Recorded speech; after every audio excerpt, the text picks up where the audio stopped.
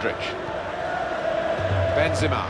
Well, they're still battling to try and get their search for supremacy successful. Possession facts suggest that, that uh, battling is still... It's Aguero! He scored!